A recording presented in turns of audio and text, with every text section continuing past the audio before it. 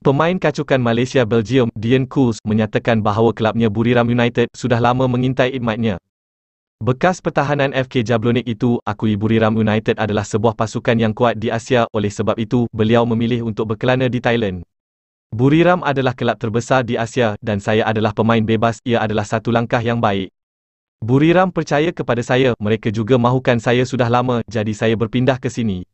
Dalam pada itu, pemain berusia 26 tahun ini akui sangat gembira dengan suasana di sini. Beliau mahu memberikan yang terbaik buat kelab baharunya ini. Saya mahu menikmati bola sepak di mana sahaja saya bermain, sama ada di Asia atau Eropah. Saya menikmatinya setiap saat. Bagi saya, ia gembira dengan masa ini. Saya suka berada di Asia kerana keluarga saya suka di sini. Saya dan keluarga akan melawat Malaysia sebanyak mungkin jika ada masa terluang.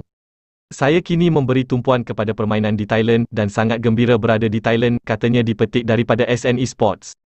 Baru-baru ini Dian Kools berjaya membantu Buriram United layak ke peringkat seterusnya dalam saingan Thai League Cup menewaskan Muang Thong United dengan keputusan 2-1. Buriram United kini menghuni tangga pertama Liga dengan 42 mata selepas 16 perlawanan mencatatkan 13 kemenangan dan 3 seri idmat Dian Kools pasti ditagih untuk terus mengekalkan rekod tanpa kalah yang dipegang oleh Buriram United ketika ini.